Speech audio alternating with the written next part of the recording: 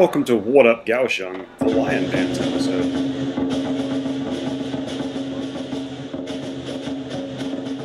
On October 1st and 2nd, an international lion dance competition was held in Kaohsiung. Teams from Malaysia, Singapore, Hong Kong, Indonesia, and of course Taiwan were represented in this competition.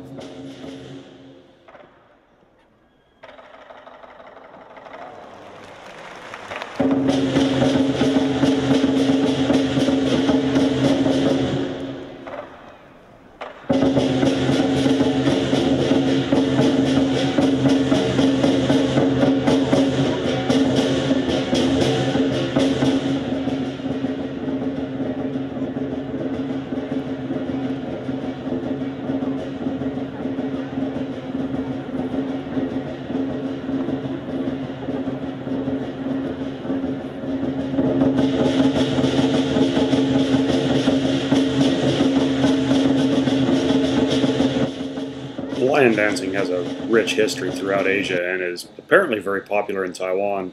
Uh, there are even specialized schools here for those who aspire to become lion dancers.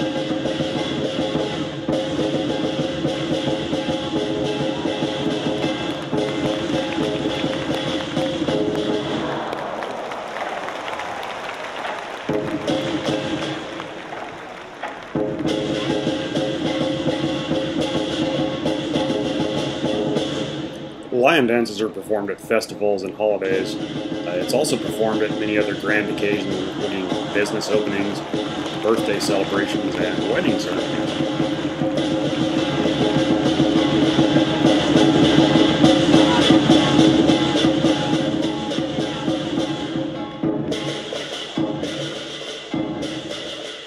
The origin of lion dancing as a competitive art form is credited to Malaysia.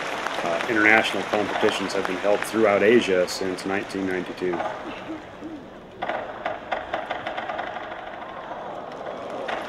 The Shijia Lion Dance Festival, uh, held annually in Kaohsiung, takes its name from an old tribe in Kaohsiung. Uh, the Shijia were known as the best lion dancers in the area and were respected for their advanced technical prowess.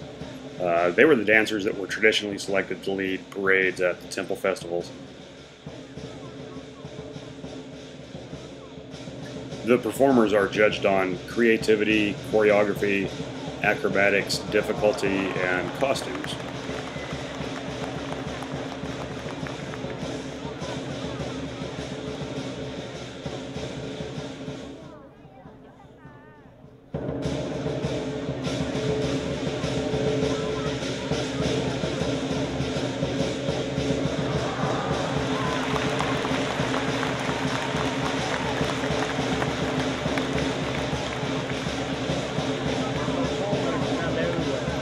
And that's everything I have for this episode of What Up Kaohsiung. Thanks for checking it out. Uh, come back again soon. Uh, more episodes coming.